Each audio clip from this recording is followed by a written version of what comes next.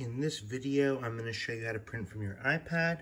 So this is a um, built-in feature into the iPad. Here I got my iPad Pro.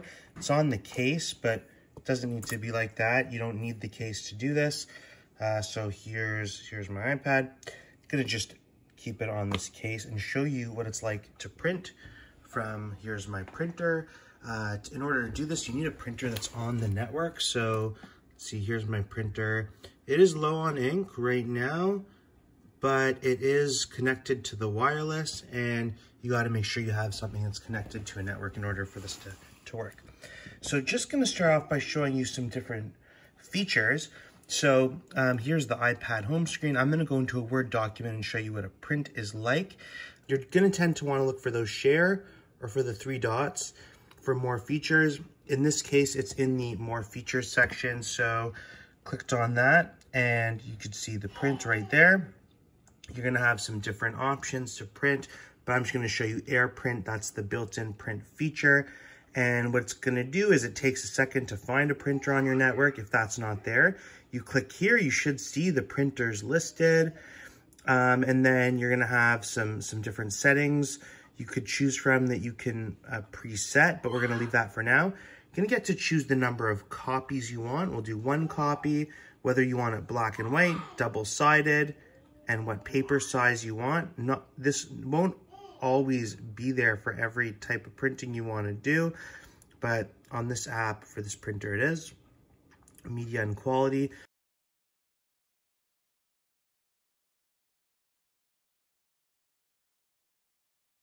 You just hit print. I'm getting a warning. The printer is low on ink. And we'll get that going. And because this printer is connected, it's received the, the command and now it's printing. And there is my instruction set for this video. So in this case, for this app, Microsoft Word, you're gonna click on the three dots for more options and then select print and follow the rest of the steps to print. Okay, let's take a look at another app to see how it might differ. Uh, I'm gonna go to, uh, let's go to uh, Keynote. So this is an Apple app. It's another productivity app. Could have done PowerPoint, but I just wanna show you the same thing. And here we're gonna go to the three dots and print, same thing. Now we have a pre-option pre-option of how we want the slides to show up. This is for slides and, uh, and presentations. And we go to next, and here we've got similar a whole bunch of settings. Now we also have the option to choose an orientation at the bottom here and the page range. So just called range on this app. And we can start from whichever page we want and whichever page we want.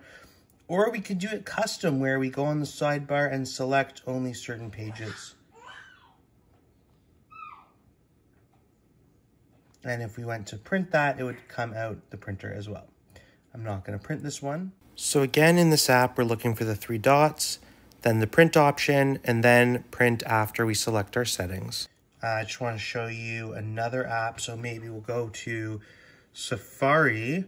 So that's the internet. Of course, here we're on a web page. Uh, this is the actually the how to use your iPad web page. So in this in this app, there is no um, three dots, but like I said, we're gonna look for that share button. So that's up here. So once you go up to here, you're gonna see some options as you scroll down and one of them is print.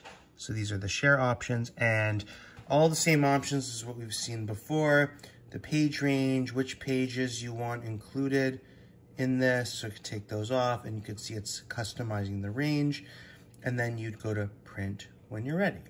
And most apps will tend to work like this. If there is a print uh, feature, you're gonna look under the share. So for most apps, you're gonna be looking for that share button. It's that little square with the arrow coming out of it.